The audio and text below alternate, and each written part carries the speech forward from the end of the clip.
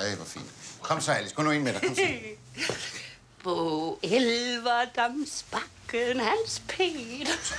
sad og tørrede sin røv med sin blad. Nemlig. Alice, Alice.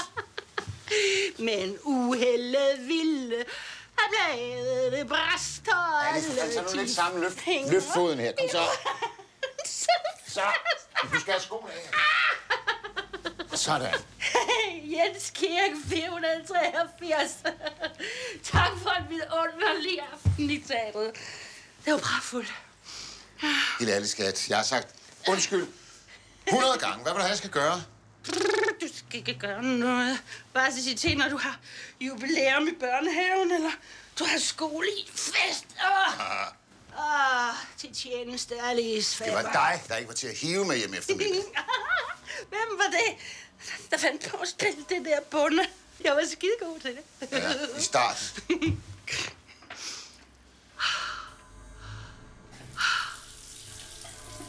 Alice? Skulle vi ikke gå ud og spise i morgen? Os to. Helt alene, hva'? Det synes jeg, vi skulle. Ikke noget med mobiltelefoner eller gamle venner eller noget som helst, ne? Det bliver hyggeligt?